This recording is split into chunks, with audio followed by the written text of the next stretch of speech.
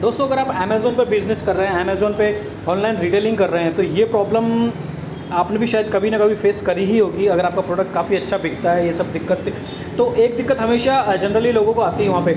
आपका जो hit product होता है विनिंग प्रोडक्ट होता है, जिसमें अच्छे ऑर्डर्स आ रहे हैं, अच्छे रेटिंग्स हैं, अच्छे रिव्यूज़ हैं तो उसमें कई लोग जो कई सेलर जो दूसरे सेलर होते हैं, वो लोग क्या करेंगे, आपके प्रोडक्ट में आके लिस्टिंग में आप मैपिंग कर लेंगे या तो। मैपिंग नहीं करेंगे तो कॉपी कर लेंगे प्रोडक्ट को कॉपी कर लेते हैं या उसके अलावा जो अपन ने डिटेल्स दी हुई होती है डिस्क्रिप्शन होते हैं बुलेट पॉइंट्स होते हैं, बहुत सारी चीज़ें होती हैं तो वो लोग कॉपी कर लेते हैं। तो अपनी पूरी मेहनत ख़राब होने का उसमें डर रहता है और कई बार मेहनत ख़राब हो भी जाती है।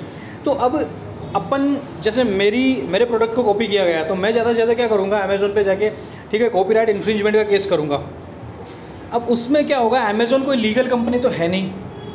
अमेज़ोन के पास कोई ज़्यादा विशेष अधिकार तो है नहीं।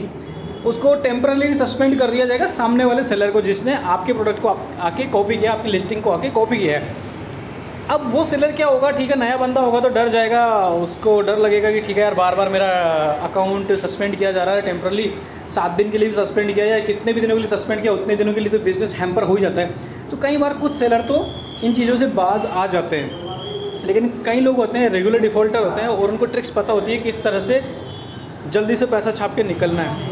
तो ऐसी चीज़ों से बचने के लिए और ऐसी चीज़ें हमेशा प्रॉब्लम क्रिएट करती रहेगी तो ऐसी चीज़ों से बचने के लिए सबसे मेन चीज़, सबसे बेस्ट चीज़ ये है जो आप कर सकते हो, वो है कि आप अपना कॉपीराइट ट्रेडमार्क ले लो एक, अपना अपना ब्रांड नेम रजिस्टर करवा लो।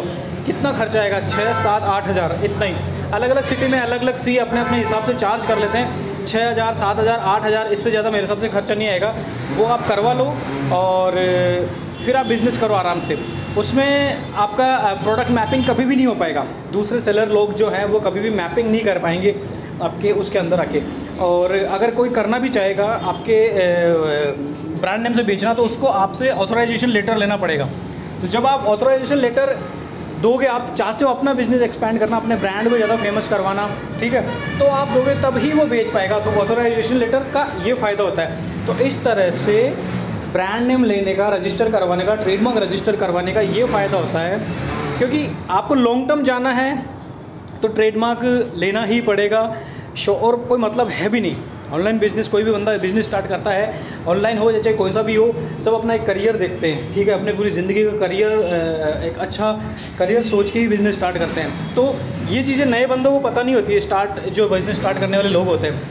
हमें एक्सपीरियंस है सात से आठ सालों का तो यही मैं कहना चाहूँगा ट्रेडमार्क रजिस्टर करवाओ, ब्रांड नेम रजिस्टर करवाओ और उसके बाद ही आप आराम से अमेज़ोन पर या किसी भी अदर पोर्टल पे बिज़नेस करो। तो आपको ये कॉपीराइट इन्फ्रिंजमेंट केस वेस करना, ये सब ये फालतू चीज़ें इनसे कुछ होता तो कुछ है नहीं फालतू। कुछ दिनों के लिए सामने वाले का अकाउंट सस्पेंड हो जाता है। लेकिन परमानेंट ऐसी चीज़ों से बचना ऐसे क्योंकि टाइम वेस्ट होता है एनर्जी वेस्ट होती है मूड ख़राब होता है, बहुत सारी चीज़ें प्रभावित करती है अपने आप को। इससे इससे अच्छा इन सबसे बचने के लिए आप आराम से ट्रेडमार्क लो और उससे बिज़नेस करो।